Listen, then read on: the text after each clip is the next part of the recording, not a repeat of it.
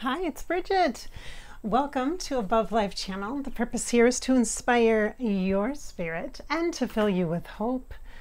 Today, it's a very sunny, beautiful day here in Minnesota, which is where I live. If you're new to the channel, hi. nice to meet you. So it's warm and muggy, so my eyes will be fluttering a bit because of the allergies and such. So it doesn't mean anything, just so you know. Other than I have a human body and my eyes are sensitive to the light, and I don't want to have sun, uh, sunglasses on for our conversation today. So, aside from that, we're going to have a bit of a therapy session with Robin Williams in the afterlife because you know how much Robin seems to be kind of fitting that role for me lately.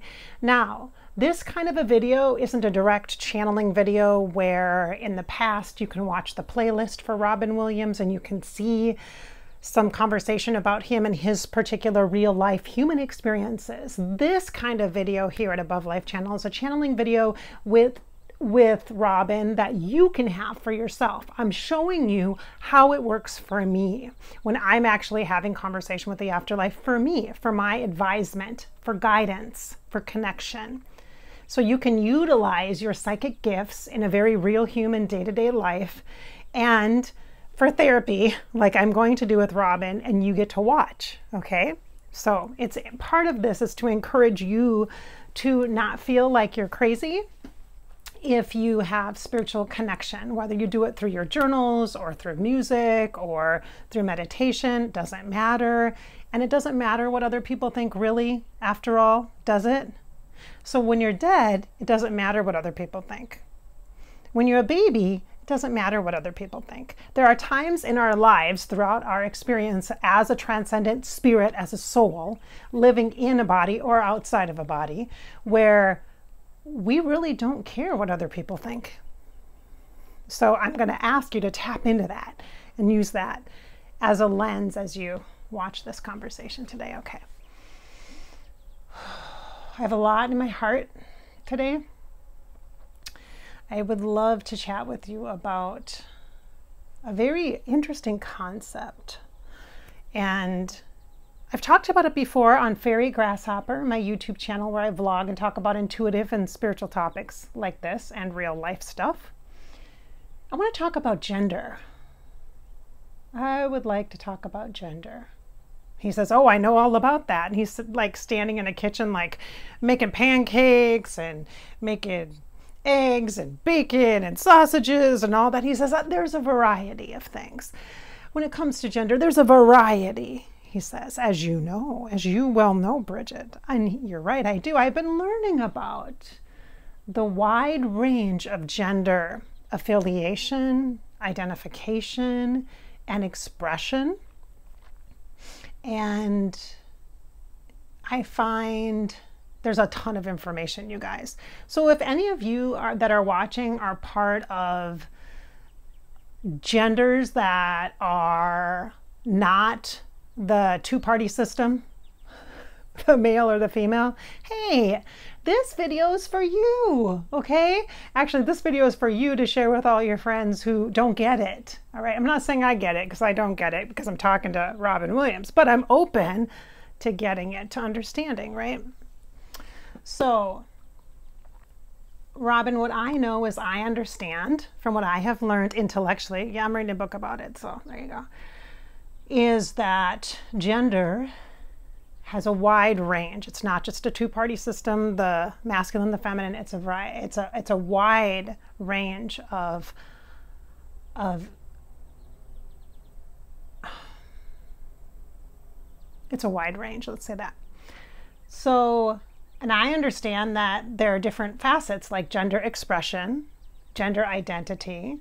Um, I also understand that gender is separate from sexual orientation. So just because someone is identifying with a gender that's outside the two party system doesn't necessarily mean that they're on the LGBTQ plus or in alignment with the community or expressing their sexual orientation that way in relationship, etc. These two things stand alone, yet there is also a ton of overlap, which thus creates the confusion, people. That's what's creating the confusion. Believe me, I need to understand this stuff, and so I'm working on it. Oh boy, I have sunscreen in my eye. That's lovely. Okay. Let's keep talking, Rob. Come on. All right. So, we're talking specifically about gender, gender identification, gender markers. I don't know. I'm trying. Okay, so anybody who's watching this who identifies with um, other genders aside from or on the scale, a range of gender, be gentle with me in the comments because I will try to use the best pronouns and the best terminology, but know that I'm learning it. Okay, so be kind. All right, so gender, let's talk about it. Can you explain it from an afterlife perspective? Because I think in human body, we, I, we readily social norms readily look to physical body characteristics and traits, specific organs, the absence of specific organs externally, etc., to mark gender, mark gender, right? And then we are put into categories with gender norms and social roles and all this stuff, which is a crock of crap, just so you know. Born and raised a feminist. So for me, that's like, oh, never been a good vibe anyway which I appreciate you doing the cooking, Robin. Thank you for that. So, little dig on uh, social roles there. All right. All right. So, oh, geez, Louise. Do I have a tissue? I think I do because my eyes are just so sensitive today.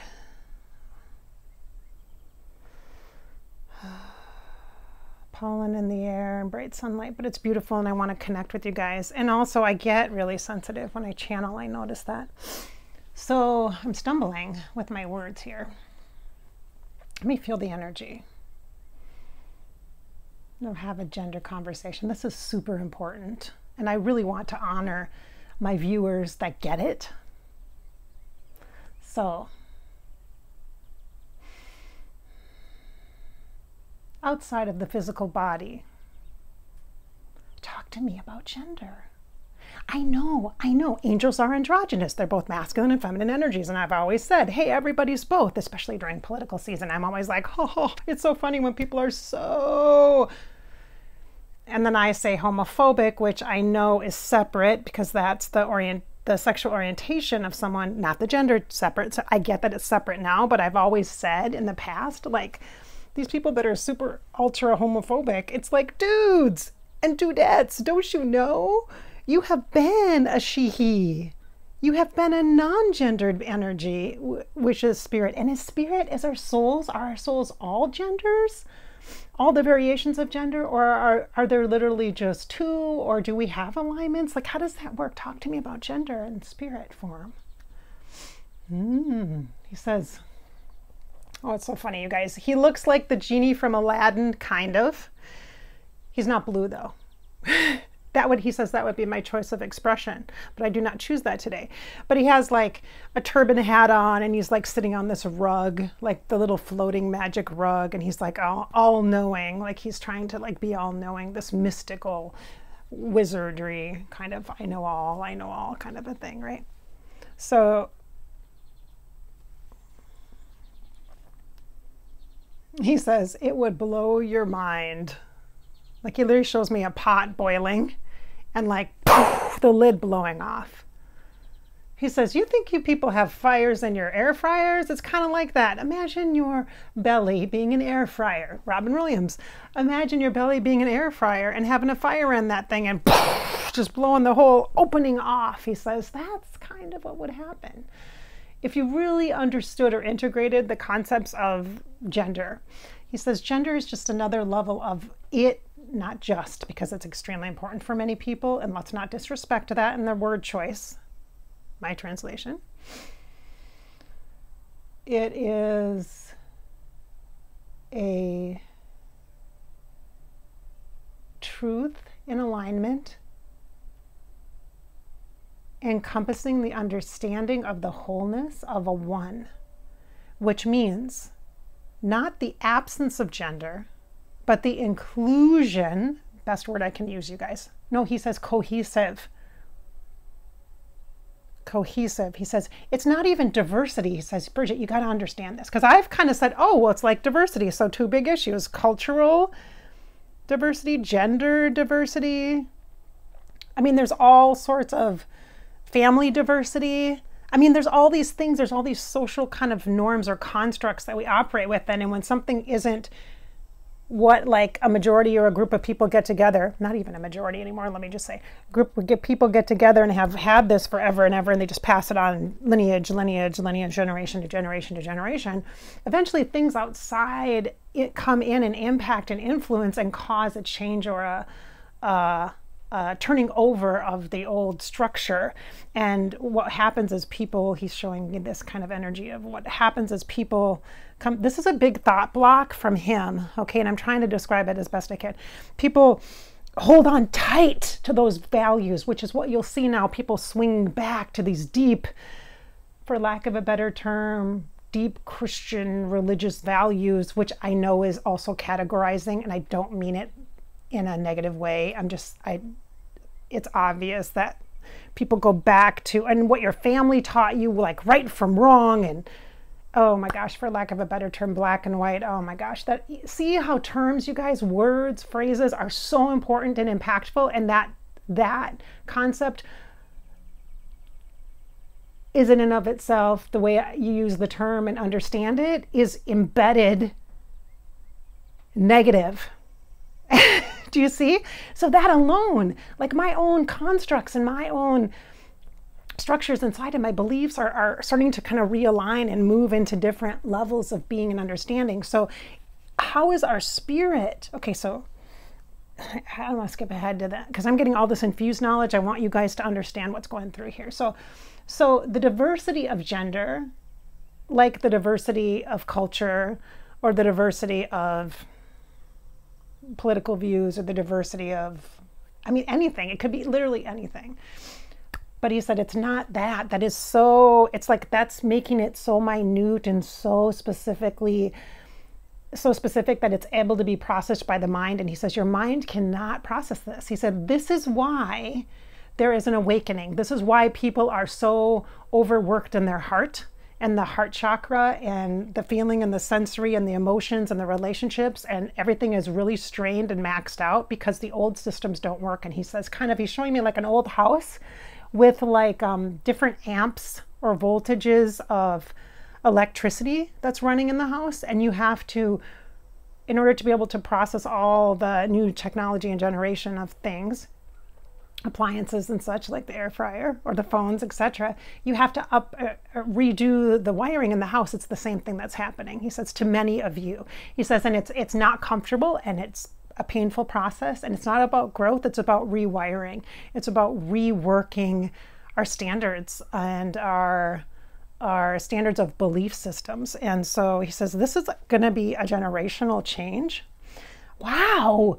Wow Wow. Okay, that's the first time I've heard that because I've been working with this for about a month now. This energies, these energies, I'm trying to understand kind of this whole gender thing and how it fits with spirituality and human expression and and and how it relates to us in our relationships and in the world and all that. And so much sensitivity around it and rightfully so, understandably. And it feels relatively new to me, but it's not probably not new actually. So it's new in my experience of awareness. How about that? Let's say that. So, generation, it's going to take a generation. Like my children and their children are going to be at a point where there are some new social norms that and he says, but you'll settle in. He says, but here's the thing to be aware of. You're going to settle into patterns. You're going to settle into standards again. They'll just be different. He says, and then a couple generations after that, there'll be this shakeup again, and that's what happens. He said it's it's just this process of unearthing, overturning, tilling the soil, kind of a thing, you guys. So that's what's happening right now with gender, right? He says, yeah. He said, yes. It's happened with race. You're watching it happen. It's not a one and done. You flip the pancake over, it's done. And he's like, it's not done. It's not like that. You know, this is one meal, one piece of the meal. This isn't the whole nurturing nutrients that your body needs to grow and expand for years and years and years to come. This is one meal. He said that's what the experiences have been in the last year and a half in regards to race. I'm like, whoa. And he's like, so the gender, gender is a piece of it's not unveiling, it's the piece of uncovering what has already all, always been there below the surface, and that is the constraints of traditional gender norms and the constraints of traditional gender roles in society.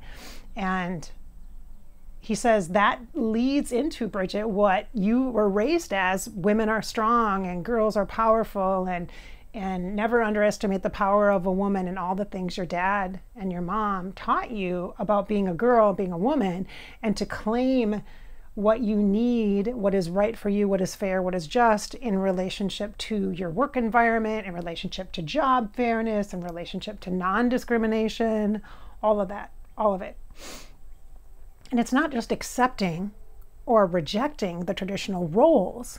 It is, he said, it's far deeper than that. So the feminism, the feminist movement, and then he shows me like in the 60s, like related to gender specifically the and then he says oh, this is a bad i don't want to limit but he says like the gay movement is what that's the best those are the best two words that come together. I know orientation is a total variety now but back it was coming to public. It was coming into it's coming out of the homes and into life, all other aspects of life. I don't know how to explain this right. I'm not explaining this right. Yeah, without being so cliche, like the coming out of the closet thing. That's horrible to say it that way because it's so limited and minimal, but you guys know what I mean. I'm really struggling with this because sensitively wise, like clair clairsentience in my heart, I feel so like I just love everyone and I want to honor everybody that's watching as a a viewer and understanding that people are going to be there's going to be the person that's just like a lot of dogma with their you know catholic upbringing. Not to dig on the catholics i love you. Love you i love jesus. Oh love jesus. And and i do actually. So hello thanks great healer. But um, I know that some of you are watching this and as part of my work and you're struggling with those things for yourself. And then I also know that I have LGBTQ plus people who are viewers who are watching this who are like, okay, Bridgette, you know, really, you know, say it like it is and help educate people and that kind of thing. And then there's also this gender piece of myself as a feminist, as a woman, and I do identify as a woman. People have asked me that too early on, which really frustrates me, but I understand because I don't know. I mean, maybe I'd be a cute guy. I don't know. But, or a variety of gender, let's just say that. Variety, non conforming, not choosing of one or the other. And I. I feel a tremendous amount of responsibility and I also care deeply. And I really legitimately want you to see my learning process because I don't know. So it's not just gender diversity that's the thing here. It, and it's not just expansive, not like we just transcend gender, but he's talking about like this oneness and it's cohesive. It's like everything is part of it. Everything. The way you act, the way you feel, the way you talk, the way you connect with your source, how you connect with source through earth energies, through the elements, through rituals, through meditations, through Buddhist practices or shaman practices or um, religious based practices like Catholicism or Baptist or whatever it might be. I, although I, I would be surprised if I had any, maybe Methodist or Baptist that would watch me. I don't know, maybe not. I should tell you guys the story of wearing pants. I maybe I have. Have I shared that? I wore pants when I was in like fourth grade to a, I think it was a Baptist church, and people were very upset with me. I was like identified and singled out some of the other kids, not the adults. They were trying to be, you know, they were very welcoming and gentle. But the other kids were like, she has pants, she can't hold the flag or whatever it was. I was like, oh my gosh, are you kidding me right now? Super turned me off to religion, let me just tell you. What I can and cannot wear? Are you kidding me right now? Are you kidding me right now? Which does lead into gender, doesn't it? It's a way that we move through the world. It's a way that we flow our energies. And he says, Yes, Bridgette, it's not just a masculine or feminine, and it's not just a third gender. He says it's when the masculine and the feminine alchemize and they come together in union. It's a, a relationship that is the bedrock, the core, the core antenna for the soul and the spirit. And so then the expression of the body can evolve and change over time. Yes, this is true.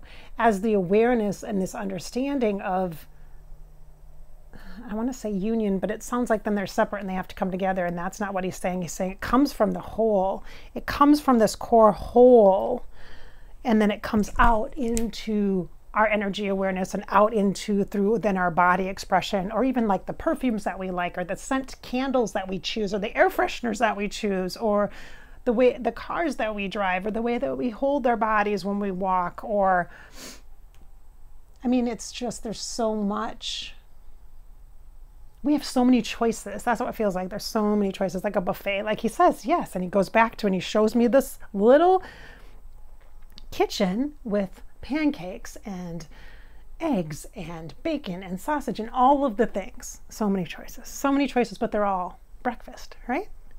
They all nurture us and guide us. And he says, so it's not separate genders. That's a body choice that is made by the soul. Is it a soul choice? That's a good question. Is gender a soul choice? So, if that's the case, then wouldn't the soul know what kind of body it's choosing? Hmm, remember, it's a whole experience. So, by choosing a gender that feels different than what the soul wishes to express in the human life context, it is not about comfort when you incarnate, when you come into the body, when you make a choice. It's not about the comfort and the ease of life, it's about the understanding. And the experience provides understanding. Uh, so this is where like we struggle, we have pain, we we struggle to love ourselves or become one with ourselves or this is about that bigger conversation about being who we are whatever that looks like or means to you and how it's so float fluid and it's on a continuum. And it might not be focused on the topic or issue of gender or gender choice of human body versus spirit. But what you're telling me is the soul doesn't have a gender. There's not a gender. And it's not non-gendered or agendered. It's not that. It doesn't, it's not above gender. It's not that. It's this oneness of all of the components. It's a complete cohesive energy that's at the core. That's what our soul is, you guys. And so there's all these codes, and, and they're showing me um, like sacred geometry. My team, thank you for that. I literally just see, thank you for that. I see Metatron, Archangel Metatron, and um, what looks to be Archangel Raziel, and perhaps um, Melchizedek, who I also work with as well as a, a spirit guide. And they're showing me that there's encodements at the core of your spirit and your soul, and you know this, and you know that there are choices and freedoms for your creative expression, your co creative expression. And so you utilize the body in ways that best aligns with the understanding and the experiences that you you you have in your lifetime and he says they're not all robin's showing me they're not all predetermined or yes it was not determined that you were going to fight inside with your gender or your sexual orientation or your religion that you were taught growing up, or your height, or your skin color, or your family of origin. I mean, there's not, there's not, it wasn't like preset, like you have to have this, this condition needs to be here so that you can learn these things. It's not like that. He's saying it's not like that. It is not that way. That this is one of the codes at the core of you that you choose in expression of to connect with, to understand the balancing of things at the core of who you are. So, this is like the universe, so the cosmic consciousness. And this is really hard to explain in human words, which is probably why my team is coming in to help support this explanation for you and also for me and understanding. Thank you. I literally see that. I'm going to breathe it in, you guys, in the heart here right now. there's many layers to this for your intellectual processing, and this is more of a bird's eye view. He literally says bird's eye view. I don't feel resolved though. I hope that I feel like I'm just talking in circles here because I'm trying to, it literally does look like a moving, kind of spiraling, pulsing, kind of rhythmic pulsing energy. And like with codes, with like sacred geometry, and with like numbers and all this stuff about choices and the co creative experience. I understand that and the cohesiveness and how this is the core, and there's not uh, masculine, feminine, and gendered alignment for the afterlife. And it's not necessary and androgynous is not maybe necessarily the best term to describe that either and it's there's not a third gender which some people maybe identify with i mean for you if that's what you believe and that's how you feel that's that's your experience that's your perspective and your reality and and and i will honor your your position. And yet what i'm feeling here is that it's just this